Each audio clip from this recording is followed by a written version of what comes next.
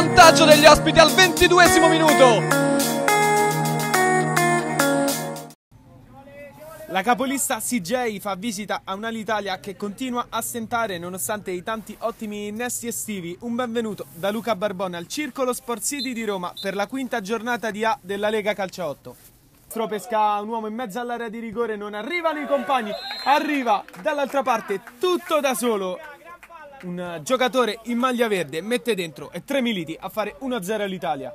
Di mettere un fine all'azione Qui Severini si mette in proprio Severini! Un gol pazzesco di Severini, un tracciante che si infila alle spalle di Boni e fa 2-0. Sbagliato una grande occasione qui di Francesco, poi Severini un altro gol con l'esterno del destro, la mette nuovamente alle spalle di Boni, 3-0, sempre Severini. Già andato anche il sedicesimo, in questo momento Regis anche se ne va in mezzo a tre avversari, poi serve il proprio compagno che va con il diagonale. Si Profondo ti sei c'è Gimelli, poi Regis che accoglie il suggerimento di Gimelli, non riesce a tornare, CJ che accorcia le distanze con il numero 3, Simone Tovalieri. Lo scatto di Luca Severini, di Francesco Portapalla, taglia destro il campo per Severini che va di prima a scavalcare Boni. La tripletta di Luca Severini, un gol più bello dell'altro, 4 a 1 all'Italia. Valieri si accentra Tovaglieri con il destro, prova a piazzarla, doppietta anche per lui. Tovaglieri prova a riportare in gara il CJ 4 a 2 e siamo ancora nel primo tempo. Dall'altra parte Taroni, Di Francesco, Severini dall'altra parte, Di Francesco lo vede adesso, Severini ha la palla sul destro, sotto la traversa, poker di Luca Severini, 5 a 2 all'Italia. L'ennesima prodezza di Severini.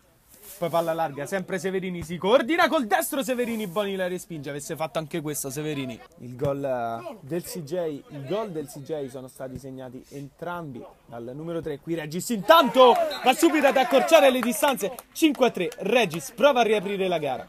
Dentro 4 palloni in questa gara, ora comincia questa sfida con un grandissimo attacco per Di Francesco che poi spara al lato.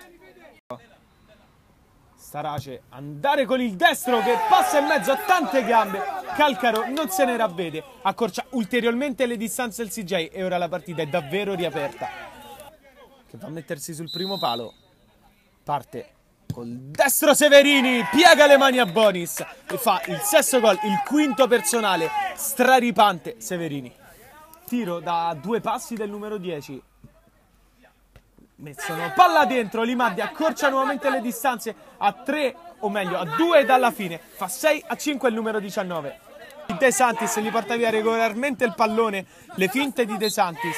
Sul triplice fischio il direttore di gara, alla fine l'Alital riesce a portare a casa i tre punti dopo essere stata in vantaggio di molti gol, si è fatta recuperare ma la partita è finita sul 6 a 5.